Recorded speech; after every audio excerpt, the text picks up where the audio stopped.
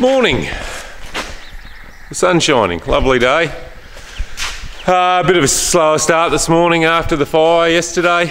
Um, yeah, we still haven't got any staff on deck, which is fine. We're just trying to, we're between the Christmas and New Year's, so I'm trying to keep them away and give them a break if we can. So there's not much going on. Um, we're actually um, heading out for lunch today. Um, so I've had a phone call from uh, Rod, the guy that uh, designed the concaves for the header, and he's got a guy that wants to um, try that's still harvesting down the Western Districts of Victoria.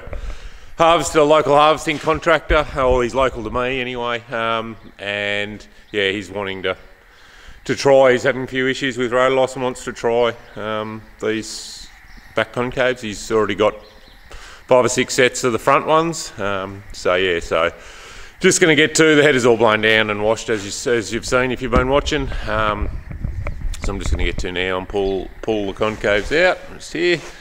Uh, do have Miranda coming from Elders, um, agronomist. She's going to come over and have a look at um, where we're up to with this rice. So I'm hoping if I ask her nicely, um, we can video what uh, what we're actually looking at and just get her to give us a bit of a run through on. She'll be able to do it better than me, so fingers crossed. Um, yeah, she might be good enough to do it, but anyway, we'll see how we go. Hopefully, if she doesn't, I'll try and uh, yeah, try and remember it all and, and run you through it. So anyway, we'll get these concaves out.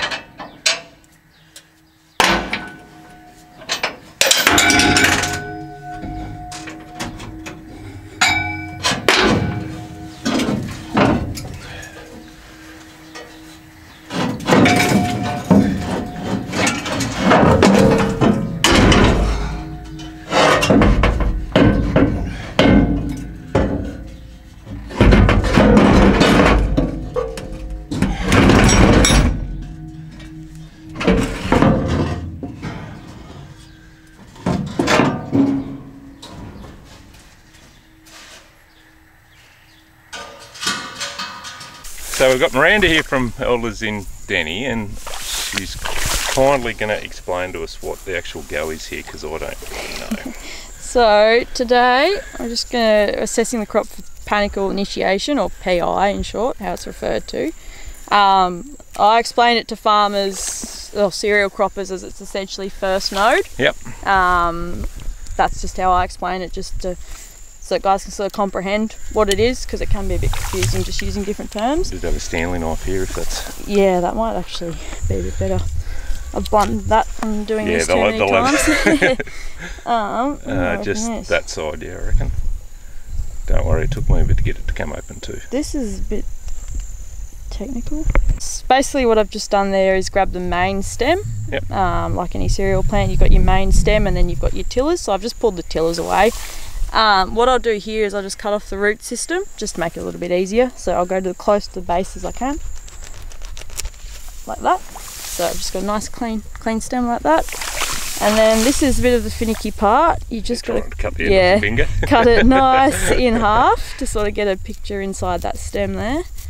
So I'll just have a look. Oh, it could be on. So I don't need to go too high for this, just about like that, because Yep. I know we're not going to be too far up. Now we've got this airspace here. It can be a very poor indicator of PI because Yep. guys will look at that and be like, yeah, is that PI? Because there's a gap. You can't use the airspace. Yeah, so okay. basically, it's very tricky, but you just slightly, this knife's actually really good. I don't know how well the camera's going to show it, but anyway. You just chip away here. You can see that sort of white line at the top of the airspace. Yep. Um, what they call it is there's a fluffy tip that'll develop when you're at PI, and at the minute, not quite yet. It's starting to form, Yep. but it'll just be in there. You'll see a little Yeah, fluffy you can tip. see with the naked eye, but the Yeah. camera mightn't show it. Anyway. So, um, I reckon based on that calculator, John, you're going to be hitting PI Sunday, Monday. Monday. Yeah. Yeah, cool. All right. Um, but yeah, basically, this is just the start of the reproductive phase in the rice crop, Yep. and sort of your last opportunity from PI. You've got two weeks, 14 days to do your urea. Yep. After that period, you're wasting your time. It's, it's too late. Right, You've got to do it in those 14 days. Right. Um, and basically, yeah, we just use that as the indicator, start of the reproductive phase, and yeah, pretty much from now on, it's going to go crazy. Yeah, cool. It's good. So awesome. Awesome. Thank you. Thanks, John. That was easy. Morning, or it's actually afternoon now. Uh, so, yeah, Miranda came, we looked at the rice. Um, actually, I think I mentioned on the last one, last video, I had a plane booked for uh, today uh, to, yeah, top dress, top dress the rice and corn, but um, we've put him back a week just with um, the rice not quite being at PI. Uh, but uh, I had a good yarn to Miranda after um, I stopped filming, and we got talking about um, drones and that sort of stuff. And there's actually she's been working with a guy uh, that's got um, spray drones, and um, and I how the the conversation sort of started. I'm looking for a new drone for this job, um, just to give you guys a bit of a bird's eye view. And um, my other little drone, um, one of the girls had a bit of a crash with it. And if you've been watching along, you'll notice the footage is a bit bit sketchy. It's not great, um, and yeah, it's got a problem in the camera. So um, I actually bought that drone secondhand off eBay, so it's had had a pretty good lifespan. So, but my thought was with the drones um, whether I buy something a bit better and we can actually do a bit of um, paddock mapping and that sort of stuff. So, anyway, we got on. Mir- Miranda's been working with this guy, um, commercial drone guy, um, doing spraying in rice. So, anyway, uh, I posed the question to her about um, the NDVI mapping and that sort of stuff, which is. It's and I can show you here on my phone. It's basically a satellite imagery imagery of the um, take me get this out of the vegetative matter. Basically, it gives you an index. So, so hopefully you can see that. It's it's a bit hard to tell on the. I've just got this on my phone, obviously, um, and it basically gives a, a coloured a coloured map, and and the map the colours are obviously linked to a legend of.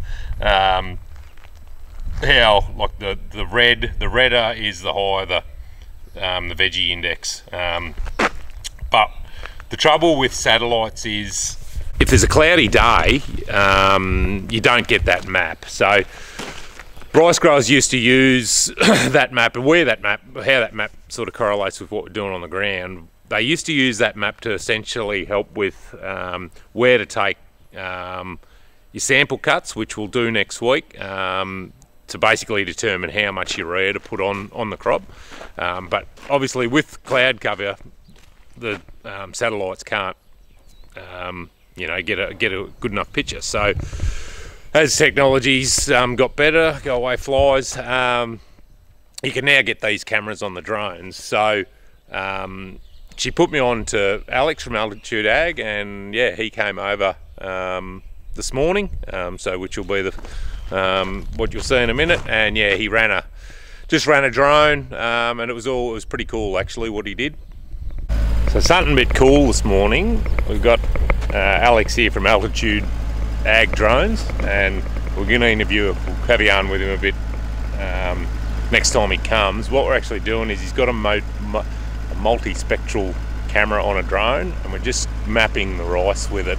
Um, and when we top dress it next week, we're going to come back and um, run the drone over it again, and then we'll see whether we can get any um, any change in in I suppose vegetable matter, um, and just see try and map it a little bit. But he's got a fair setup here. Well, he's got spray drones as well. Um, but yeah, he's this he's this is the first time he's run this drone, so I sort of said to him, I said, do you mind if I have a yarn about it? And he said, oh, how about we do it next time? He's got a bit more experience with it, but um, I'll just show you what he's doing here. Shouldn't really catch it.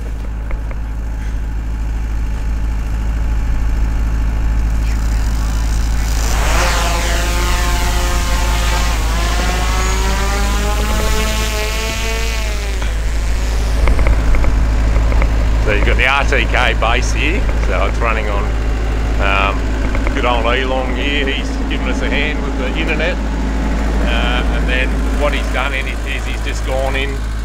Uh, you probably can't see that, but basically he's plotted a plotted a course using Google Maps, and it just runs in auto.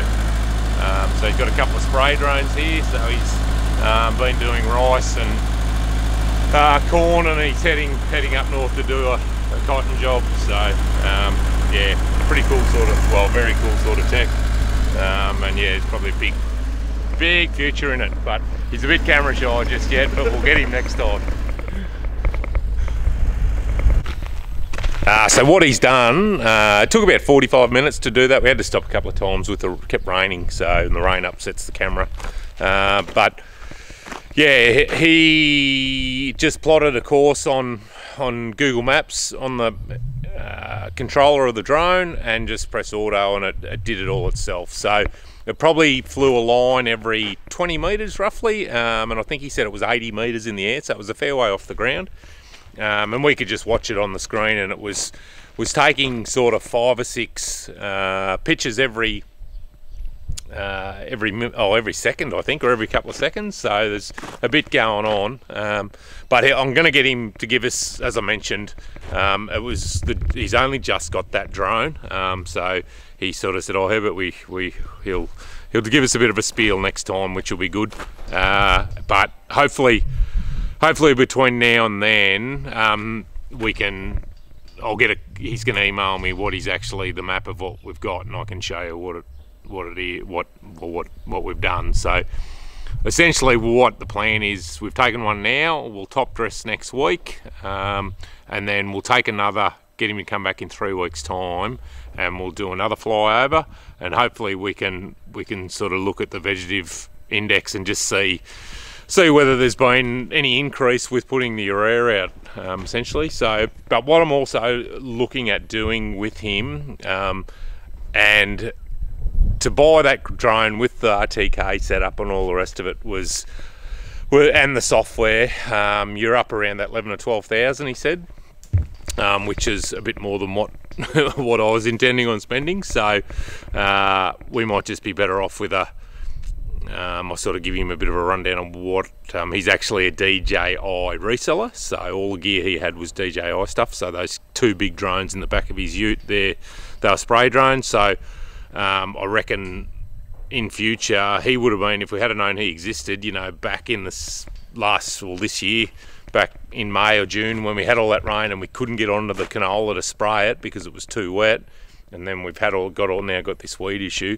We could have got him in, um, and yeah, those those big drones hold about 40 litres of, water, um, and he's essentially got one in the air while he's reloading the next one. Um, and then yeah, the big generator there charging batteries, and yeah, he's fair outlay of money just just talking to him. So anyway, so we'll get him to come back in three weeks and, and run another one. But um, there's going to be a big fit for this stuff. Just talking to him and talking to the agronomists about it. Um, with basically flying in the winter cropping stuff. We could once the crops emerge, you know, the wheat crop that's four, four or five or six leaf. Um, we could fly the fly the paddock with the drone. Essentially, get basically do a vary rate map for our spreader, um, and then rather than just doing blanket rates of urea, we just um, where the where the biomass isn't quite as much, we can up the rate, and where it's um, where it's a bit heavier, we can back it off. So, um, and what we can also do is overlap um, the yield maps over the top of that as well. So it's it's a pretty cool pretty cool space, um, and yeah, it's something I haven't really dabbled in much, but um, this to get him to, it's cheaper for him to come and do it, and he obviously he's got the software and he can he he knows what's going on as far as you know the algorithms and that sort of stuff, rather than me buying it and then um, yeah, it's not it's it's it's getting getting our value for money um, just isn't there. So we'll probably will look at a high like a higher end drone though, just um, one for the so we've got distance. Um, but also want something just for checking livestock like lambing ewes and that sort of stuff. Um, where we've got the paddock here split into four um, with the irrigator in it. If we could essentially, you know, park here at the sheds and I could fly those four paddocks um, and only have to go in there if uh, if there was a ewe in trouble, essentially. So we just can't do that with the little drone we've got now. The, it just hasn't got the, um, the, the travel distance or the you know 15, 10, 12 minutes and the battery's flat, so we can't actually. Whereas the fly time on these better drones is three quarters an hour. Um, so, and you know, a couple couple of, we could travel a couple of kilometres with it. So, uh, yeah. So look, it's it's a pretty cool space, um, and the, the technology is there. So we might as might, might as well try and take advantage of it. Um, and yeah, we'll just we'll just see how it goes. So, not much going on. Uh, as I said in earlier on. Um, the guys are still time off. Um, so yeah, I'm actually, yeah, haven't done anything else really. I've just come outside since um, Alex has been just to come out and get a bit of fresh air. I've just been mucking around with some budgets and that sort of thing on the laptop. But uh, yesterday afternoon, I was, we were supposed to go out for lunch. Um, Sarah did, but one of the one of the kids was crook, so I stayed home um, and actually got called to a fire. Um, believe it or not, another one too in two in two days, which is a bit frustrating. But anyway, it was a bit of a false alarm. They had it out by the time we got there. So, um, but no, just uh, yeah, trying to keep the feed up at the at the moment. Um, yeah, not doing a hell of a lot, but yeah, it's good. It is actually not that it's forecast. It is sort of spitting rain here again, and there's been storms go around to the north, and yeah, it's crazy weather. Anyway. Uh, yeah, so no, bit of cool stuff, pretty interesting. Um, and yeah, next week we'll we'll get to have a look at this PI and what we do with the or panicle initiations, the proper term for it, and what they do with the uh, drawing it down. We'll um yeah we'll be drawing stuff in the microwave and that sort of stuff, which will be a bit of fun if we don't um, burn the microwave. But uh, anyway, uh, yeah, we'll. Uh, keep watching. It's um yeah, it's I'm learning a bit too these last few days, which is which is good too. So anyway, thanks again, and uh, we'll see you in the next one. Ta-da.